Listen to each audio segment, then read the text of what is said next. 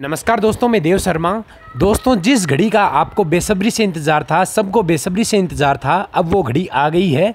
दोस्तों, आज के जस्ट डेढ़ महीने पहले मैंने एक वीडियो अपलोड की थी, जिस वीडियो में मैंने आपको बताया था कि नेशनल टेस्टिंग एजेंसी जो है, वो नीट का, जेई का और नेट का इन तीनों का एग्ज़ाम जो है वो अब हैंडल करेगी, बट उसे र्यूमर मान लिया गया और कई छात्रों की जो है वो नीचे कमेंट भी आई, जिसके कटाक्स में मैंने एक वीडियो भी अपलोड की। बट आज जो है वो फाइनली प्रकाश जावेडकर जी ने, जो मानव संसाधन मंत्री है, उन्होंने आज क्लियर कर दिया है कि अब जो है वो नेशनल टेस्टिंग एजेंसी नीट का, जेई का और नेट का एग्ज़ाम संभालेगी और अब से जो है वो एक साल में दो बार एग्ज़ाम करवाया जाएँगे। तो क्या है पूरी न्यूज़ जानने के लिए इस वीडियो को लास्ट तक ज़रूर ज़रूर देखें, जिससे आपको कम्प्लीमेंट्री रूप से सारी जो न्यूज़ है वो समझ में आ सके। दोस्तों, केंद्र सरकार ने देश की अहम परीक्षाओं में बड़े बदलाव किए हैं।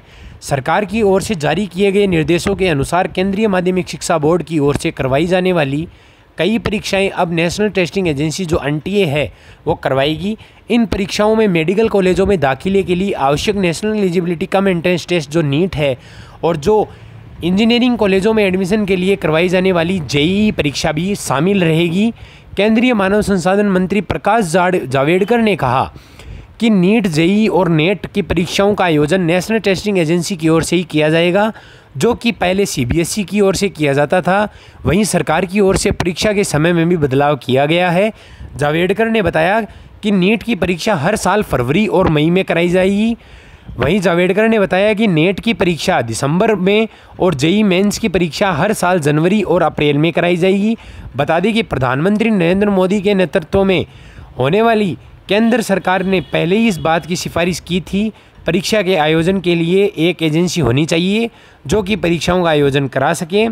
बताया जा रहा है कि बारहवीं के बाद विद्यार्थियों का समय बर्बाद न हो और सभी बोर्ड के विद्यार्थियों के लिए जेई और नीट का पेपर स्तर एक हो।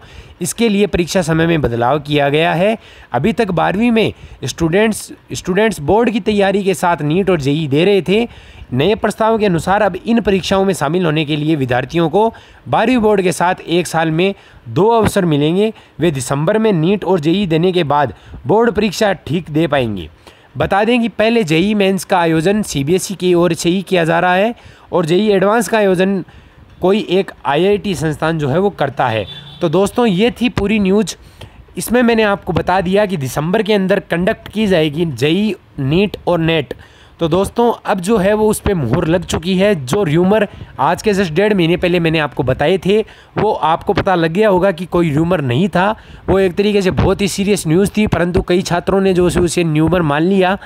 बट दोस्तों, आज जो है वो उस पर मुहर लग चुकी है। प्रधानमंत्री नरेंद्र जी मोदी की सिफारिश के अनुसार और उनकी अगुवाई के कारण ये सब सम्मिलित हो चुका है। तो दोस्तों, अब से जो है वो सीबीएसई का यहाँ पे सफाया कर दिया गया और अब नेशनल टेस्टिंग एजेंसी ही इन परीक्षाओं को संभालेगी। जय हिंद, वंदे मातरम। ऐसी ही रेगुलर टिप्स एंड रेगुलर जो है वो ऐसी वीडियोज़ देखने के लिए मेरे चैनल को ज़रूर ज़रूर सब्सक्राइब कर लीजिए, जिसके कारण आपको सबसे पहले नोटिफिकेशन मिल सके और आप इन न्यूज़ों से रूबरू हो सकें। जय हिंद वंदे मातरम।